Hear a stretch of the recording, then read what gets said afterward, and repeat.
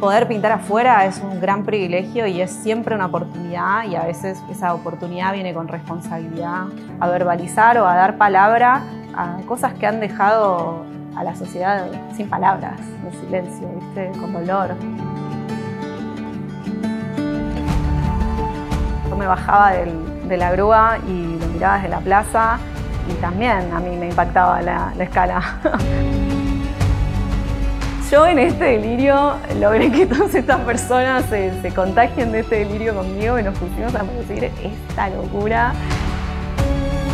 Llega ese momento que logré que la imagen, al mirarla, yo ya sienta que ya no me corresponde más, que suceda, ¿viste? Que el mural emerja y cuando pasa eso, uff, re mágico.